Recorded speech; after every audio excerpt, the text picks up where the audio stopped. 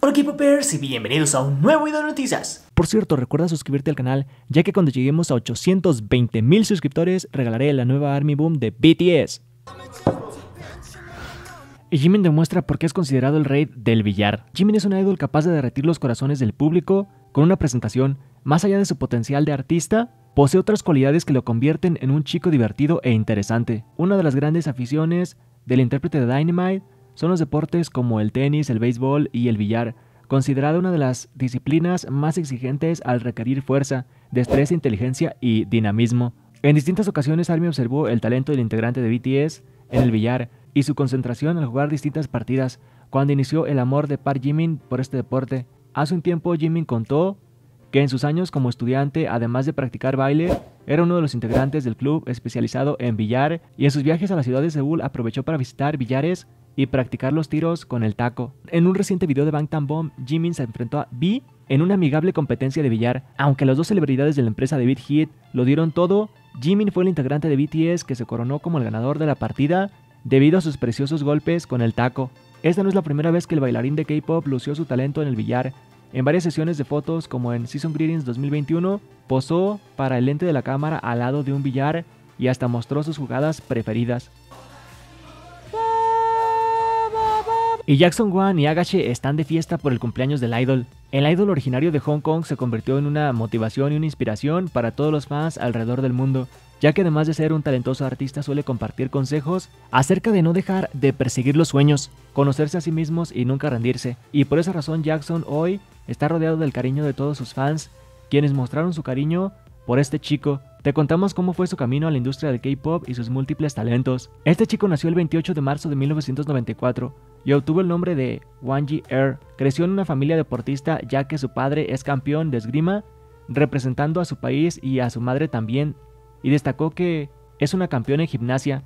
Con estos procedentes Jackson también se introdujo en el mundo del deporte y comenzó a practicar esgrima cuando tenía 10 años. Tras descubrir su pasión por la música decidió audicionar para JYP en el año 2010 y recibió una oferta para convertirse en trainee, lo que implica dejar atrás su carrera como esgrimista para iniciar un nuevo camino. Su familia no estaba precisamente de acuerdo, así que hizo un trato con su padre donde se comprometió a ganar las Olimpiadas Juveniles de Singapur para conseguir su aprobación. Tras liderar la competencia, Jackson Wang finalmente viajó a Corea del Sur y se convirtió en aprendiz. Entrenó por dos años y medio antes de debutar en forma oficial junto a God Seven en el 2014. Solo tres años más tarde, Jackson también debutaría como un artista en solitario. Aunque su debut en God7 mostró su talento como rapero, actualmente también se desempeñó como vocalista, compositor, modelo y también es CEO de su propia empresa. Lanzó su propia marca de ropa y ha comenzado a realizar actividades detrás de videos musicales tales como la escritura de guiones y planificación de los mismos, y Lives Goes On de BTS se convierte en su decimoquinto MV en alcanzar 300 millones de visitas.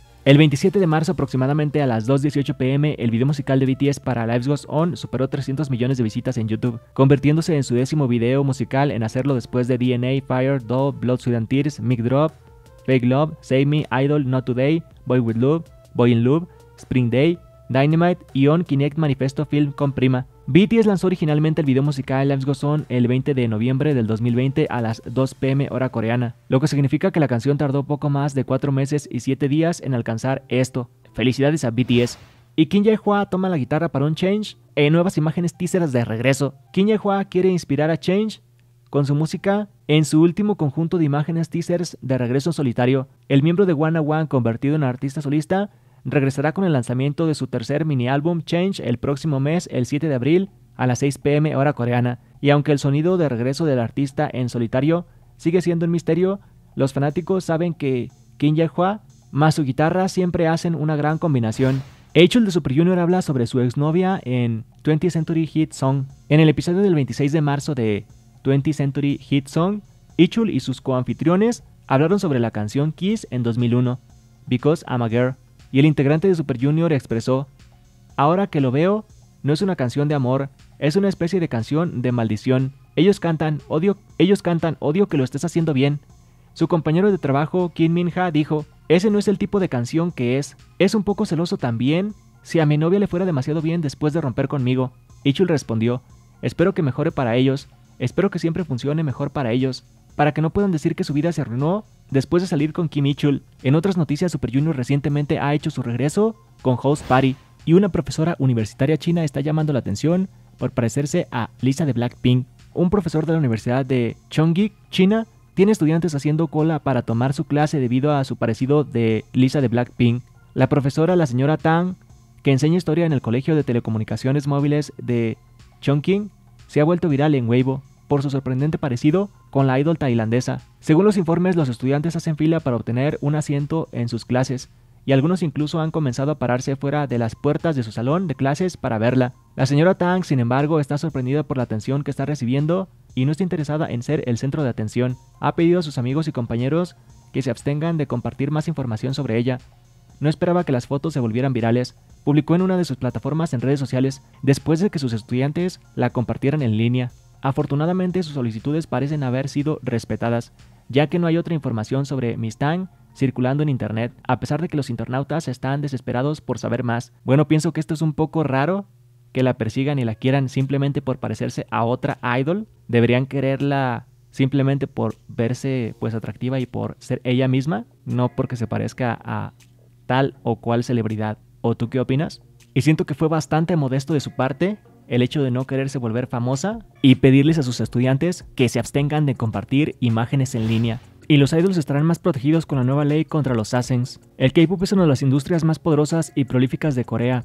Gran parte del turismo de aquel país, del continente asiático, es gracias al impacto mundial de sus artistas musicales y actores. Uno de los problemas a los que se enfrentan las agencias, cantantes y raperos de los grupos son los Sassen, que siguen a los idols hasta sus dormitorios consiguen asientos en sus vuelos, etc., atentando contra su privacidad y seguridad. Desde hace años los fanáticos del K-pop desde hace, años los fanáticos del K-pop comenzaron a pedir protección jurídica para todas las estrellas que corren riesgo al ser seguidos día y noche por los stalkers que actúan de manera grupal e independiente.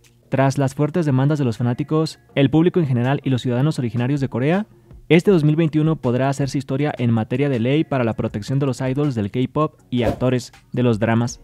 La Asamblea Nacional de Corea del Sur aprobó la ley de la penalización por delitos de talking para salvaguardar a las celebridades de las peligrosas acciones y actitudes de los hostigadores o stalkers, así que además de las acciones legales de las empresas y agencias de representación para que estas personas no se acerquen a los idols, la ley estipula legalmente que los fans hacen puedan obtener una condena de hasta 5 años de cárcel más una penalización monetaria aproximadamente de 50 millones de wons. La nueva ley de penalización por delitos de talking castiga varias acciones como espiar un idol, seguirlo hasta su lugar de residencia, comprar información privada con números de teléfono o direcciones. Bueno, esto fue todo por este video, espero que les haya gustado. Recuerden suscribirse para más videos como este, dale like, si llegamos a 500 likes publicaré otro video como este. Activa la campanita, sígueme en mis redes sociales, comparte este video con tus amigos para que estén enterados de las noticias de BTS y otros grupos. Comenta qué otras noticias te gustaría ver y nos vemos en el próximo video. ¡Añón!